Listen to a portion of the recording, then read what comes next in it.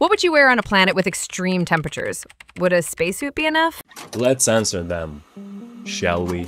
In space or on hostile worlds, conditions are so far outside the human survival range that you would need a system, not just fabric.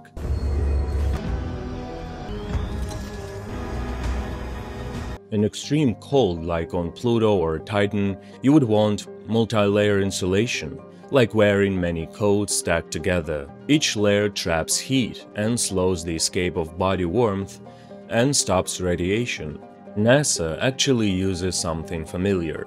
The outer layers of a spacesuit are packed with reflective insulation, kind of like a high-tech survival blanket. In extreme heat, like on Mercury's day side or Venus's upper atmosphere, reflection is key.